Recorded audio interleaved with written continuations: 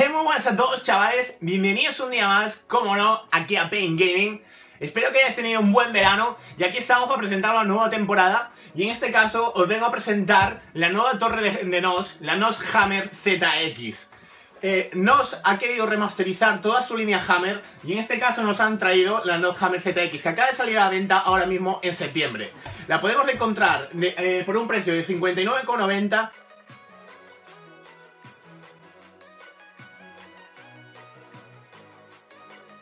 En esta ocasión no nos ha traído el tamaño semitorre. Esto quiere decir que es compatible con placas base hasta tamaño ATX, que es el tamaño más común y más habitual dentro de nuestros equipos.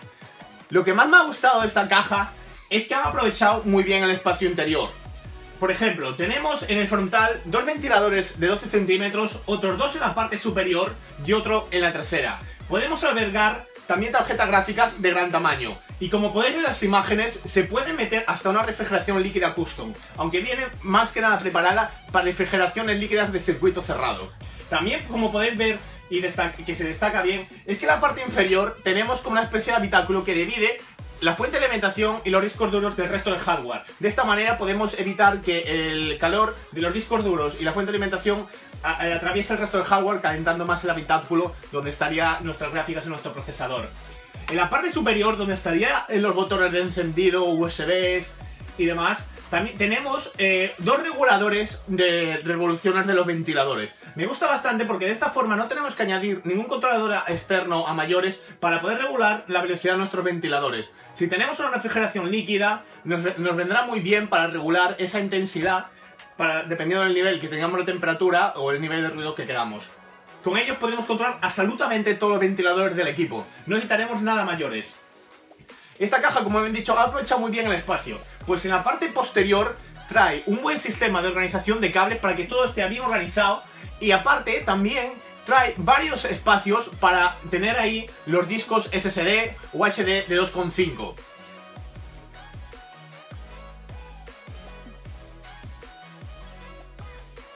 Como conclusión final que yo saco esta caja es que podemos observar que es una caja de materiales bastante buenos, que trae un precio, la verdad, que muy muy bueno, de 59,90 recordamos, para todo lo que nos ofrece. Podemos montar perfectamente un radiador delantero doble, los, ventiladores son de 12 centímetros, otro radiador doble, como veis en las imágenes, en la parte superior, y otro, otro, otro radiador simple, también de 12 centímetros, en la parte posterior. De manera que podemos hasta refrigerar absolutamente todos los componentes del equipo.